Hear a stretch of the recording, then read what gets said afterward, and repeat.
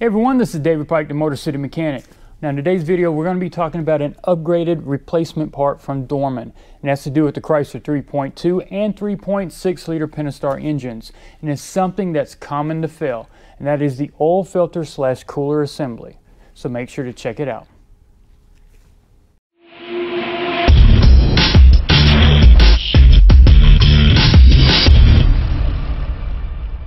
So this video pertains to the 3.2 and 3.6 liter Pentastar engines. You find them in the Chryslers, Dodge, Jeep, and Ram vehicles. Now again, 3.2 and 3.6 are basically identical. There's just more 3.6s out there. So if you hear me just say 3.6 throughout this video, remember it applies to both of them. So with that, let's go ahead and get started. Now the 3.6 liter came out in 2011, and since then there's been some changes to it. Overall, it's a really good, reliable engine. There are some flaws just like any other make and model out there. We have issues with rocker arms. We have different oil leaks. Mainly if you have an oil leak, it's gonna be related to that assembly, nothing else. But again, nothing's perfect. There's over 10 million of these on the road, and it's Chrysler's primary go-to V6, and depending on what vehicle's in, it's pushing close to 300 horsepower. So what we're going to be talking about is the different models of this engine and mainly the one that the Dorman product is designed to fix. There's different ones that the product doesn't fit to because again, there is no one size fits all. And we'll talk about that and some of the pros and cons. Now the oil filter slash cooler assembly is pretty much hidden out of view. The only thing we can actually see is the oil filter cap, which that's what we're going to remove when you're replacing the filter when you're having an oil change done. Otherwise, in order to get access to it, you got to remove both the upper and lower intakes. Now the biggest issues that we have with the assembly is leaks. It can either be coolant or it can be oil. Oil is the biggest one that we see. And what usually happens is we have some leak somewhere under the assembly. You can't really tell if it's the plastic housing or the O-rings underneath, but nonetheless, oil starts accumulating down in here. And as it accumulates, it pulls up inside because both the front and rear areas are kind of capped off, so they kind of, a valley is formed. And over a period of time, that oil collects and it gets kind of deep. And then eventually it leaks out the backside on top of the transmission, leaks further down, and that's when it's usually misinterpreted as a rear main seal. What you usually do if you have a 3.6, someone says it's leaking oil, this is the first place you go. Now obviously we have coolant going through this cooler here, and that's another place where it can leak. There are some O-rings where the cooler is bolted to the assembly, that area can fail. We'll get coolant down in this area as well and not just look like an oil leak, but it'll be a coolant leak coming out in the same area. Another thing is the cooler itself can fail internally. When that happens, if you look at your antifreeze, you've got oil mixed inside. That's what's happened. Here's a close-up of what the assembly looks like off the vehicle. Inside of here, you've got a cartridge style filter with an oil filter cap and O-ring. Right here is your cooler portion. You've got the hose connection right here where the coolant's going in. You've also got an oil pressure sensor and an oil temp sensor. Now we've had issues with the oil pressure sensors over the years, either reading incorrectly or leaking out the electrical side. The oil temp sensor, I've never had one fail. On the bottom side, you can see how it's mounted to the block. We've got a series of O-rings, bolts to fasten it to, and we've got this little snorkel portion right here that slides into the block. And pay attention right here to these block off ports because we're going to be talking about that in just a few minutes. I'm going to show you one that failed recently and why actually going to a metal design would help. Now this one came off of a 2014 Jeep Grand Cherokee. Obviously I've got the cooler removed and the oil filter cap because those got reinstalled on one of the Dorman replacements. If you look real close here, remember I told you to pay attention to those block off ports? We've got one missing.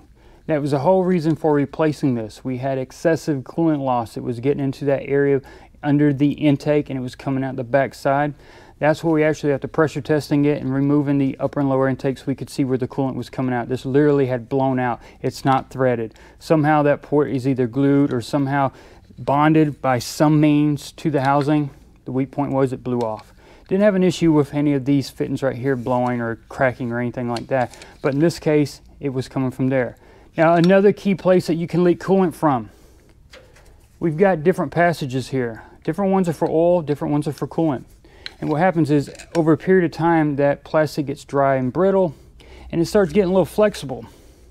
And that's what happened here. You can actually see as I was pushing on it earlier testing it, a portion of that wall where that O-ring goes around actually just crumbled. I've seen those get blown inward, and actually that's where the coolant would start coming outward. So again, that's another failure point if you've got a coolant leak. Now when it comes to oil, it's kind of hard to say. Because remember, this is under the upper and lower intake. It's submerged in oil at that point. We don't know where the oil leak's coming from. We can't clean it off, run it because it's hidden out of sight. We just assume somewhere in this plastic assembly because that's the only thing that's got oil going through it. Now in 2014, Chrysler said if you had a problem with that model, replace the assembly. From then on afterwards, they wanted you to replace the O-rings. Now the O-rings aren't expensive. You can get a complete set that actually seal off all the ports, all for the oil and for the coolant. Typically it's around 15 to $20. Again, you need the upper and lower intake seals as well. But again, are we sure where the oil is coming from? Because again, this is submerged. We don't know if there's a crack somewhere. We don't know if one of these ports that might have oil going to it is leaking. That's the problem we run into. Do we go through the same process for replacing this? Then if it doesn't fix it, we replace this, or do we do them both at the same time? That's just something that at the dealership we would have to struggle with because in order to get paid for warranty, Chrysler said we had to do these first. Now after years of replacing these leaking oil filter assemblies and these things being on back order numerous times, Dorman finally stepped up and they came to market with their one-piece aluminum design. If you look right here, we don't have any kind of possibility of a port blowing out because these are threaded and they've got sealant on it. Again, made out of aluminum. We don't have the issue with the wall deteriorating, collapsing, and having an external coolant leak there. We'll never have an issue with this nipple breaking off, which I haven't seen on the plastic yet, but it's just a matter of time probably. You've got your oil filter thread, your oil temp thread, and you've got everything you need to install this with. It comes both with the, the fasteners and all the seals. And the seals are not only for the bottom of the cooler assembly, but for the upper and lower intakes. So all the seals you need for replacing or doing the job. And it comes with all the instructions. It's got the torque for all the fasteners for the cooler because you will be swapping your old cooler over to the new housing. It does not come with that. Also, your old temp and your old pressure sensor, you will be reusing those. So make sure when you take them off, you put some thread sealant on them and reinstall it. There's torque specs in the instructions and show you step by step what you need to do for tightening and installing this. Now, one other thing I want you to pay attention to. Look real close right here. You'll see what it says, made in the USA. So that right there hopefully stands for something. Hopefully that means quality. Hopefully it means something that's gonna last. Now, just because there's over 10 million of these engines on the road doesn't mean that one part's going to fit all of them. And that's what I got in this chart real quick that we're going to talk about. Which one of these engines does that Dorman kit fit? And there's a distinguishing difference. Now, I also mentioned before that I like to call them Gen 1, 2, and 3. We've had different redesigns over the years. So let's go ahead and talk about Gen 1. Gen 1 started 2011 when they first came out, all the way up to 2013. The distinguishing difference about that is on that one, when you remove the oil filter, you can see that there's a bypass valve. It's spring loaded. On some of them, over a matter of time, they would break, they'd shoot out, they'd go missing, people would reinstall, and then the oil wasn't getting filtered like it was supposed to. Not only does it have the valve, but it has a tower that comes loose that that valve sits in. We've done some videos on replacing that bypass valve so you didn't have to buy the assembly as well. So make sure you check those videos out. Another thing about these engines, and it applies to every 3.6, it's what we call variable valve timing, VVT. We can actually rotate the camshaft and the sprocket slightly independent of each other depending on what we need. Does that Dorman 926 876 fit a Gen 1? No, it does not. then around 2014, we made some changes, both to that oil filter housing and some other items as well. But for the most part, the biggest difference you would see is that the oil filter is different. Doesn't use the same oil filter as the Gen 1. Also, this engine is variable valve timed as well. Does the kit fit the 2014 and current Gen 2s? Yes, it does. Now, there's also a Gen 3. That started around 2016 and it goes up to current models as well. Now, there is some big differences between this and the other two. Mainly when you open the hood, what you'll see is an EGR cooler and an EGR valve that also tells us something else. Not only is it VVT for variable valve timing, this is also VVL, variable valve lift.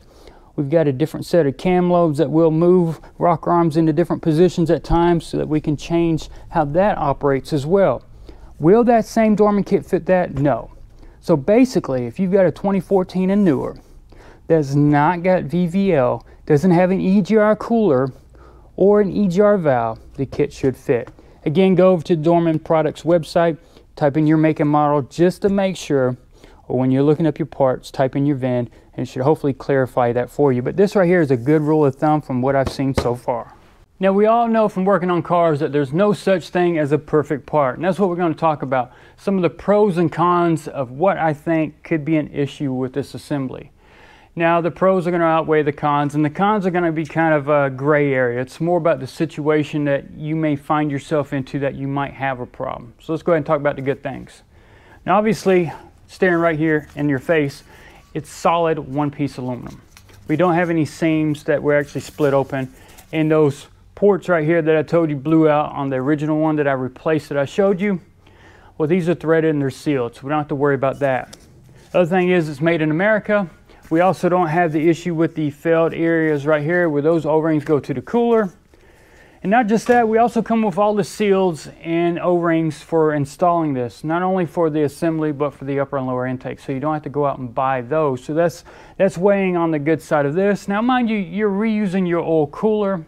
You're reusing the fasteners for that, oil filter, cap, and your two sensors. Now, I will put a little side note here. If you're removing and replacing, or swapping in this case, your oil pressure sensor, get you an OE replacement. Get you a new one because they have over the years had issues with them not reading correctly, setting check engine lights, or even leaking on the electrical side. So while you're in here, and it's easy to get to, buy you an OE oil pressure sensor. Now the oil temp, I've never seen a failure. Reuse that all day long and put the thread sealing on it like I mentioned. Again, you're going to be swapping some components from one to the other. Now there is a price difference as well, which goes to the good aspect of this one. There's about 50 to $60 difference from what I'm seeing. Now mind you, you're getting the O-rings and the gaskets and all with this, the after, or excuse me, the OE, you're having to buy those upper and lower intakes. Comes with the lowers already on there, Again, you're buying your upper and lower intakes, so there is a cost there. That also comes with an oil filter. This does not. Those come with the sensors. This does not. So there is some weighing there as far as options, but they come out real close. Again, we're going metal versus plastic, so I think that's already superior in design. So let's talk about the negatives. And again, if you've followed the channel, you've seen a lot of videos related to this, and I taught you how you could actually install basically this Gen 2 housing on a Gen 1 engine. It was an easy swap. And the reason why we were doing that is we had those issues with the bypass valve in that tower, and we want to kind of eliminate that to where it would never happen again. The only issue you would run into is making sure someone used the correct oil filter on your vehicle. Problem is you cannot install this on a Gen 1. Physically, yes, but the problem is, remember, it doesn't come from an oil cooler. Where are we getting that oil cooler from? The assembly we're taking off. So if you're removing a Gen 1 assembly. The oil cooler assemblies are different, so you're not going to have a replacement cooler when you're installing this. Physically, yes, it would bolt up, but we don't have all the components to make the swap happen. So for those of you that were doing that or have done that in the past, it's not going to work. Unfortunately, we're going to have to stick to this being Gen 2. Last but not least, the oil cooler assembly. Remember I told you we can have external leaks, oil and coolant. Well, we can have an internal leak too. If you would ever open up the radiator cap and look inside or your pressure tank and you saw oil in there, it was because of that cooler. Again, as you see, it doesn't come with one. We're robbing that off of the old part that we took off. So in the future, now it's probably rare that it will ever happen, but I want to throw it out there because it's a possibility, right? If that oil cooler ever leaks, well, they don't sell it separate. So you're buying an OE replacement assembly. Now, are you going to swap this back out and put the plastic in its place because it comes complete? Or are you going to take that plastic, rob the cooler off, bolt it back on this, and go? That's up to you, but again, something to take into consideration. Again, you will probably never have that problem, but just in case, I want to throw it out there. But like I mentioned, I think there's more pros than there are cons. So if you ever find yourself having to replace one of these oil filter slash cooler assemblies, Remember, I've got a lot of different videos on how to do it on certain specific vehicles. So scroll through the playlist and see what you can find pertaining to what you're working on. And also after watching this video, you now know that there is an alternative out there from Dorman. That's going to be the part number 926 876. So make sure to see if it fits your vehicle. You'll save a few bucks and you'll get something that's made out of metal, made in the US, not plastic, not prone to fail over time. It's not a matter of if, it's just a matter of when. If you like this video, please give it a big thumbs up on YouTube. Don't forget you can find me on Facebook, Twitter, and Instagram. If you have any comments or suggestions about anything you saw in today's video, leave something in the comments below. Also, if you like to shop on Amazon, which everybody does, scroll down into the description below the same video and you'll find a link. Click on that link, make that your Amazon homepage, and anytime you buy something, it will help support this channel. Once again, everybody, thanks for watching all these videos.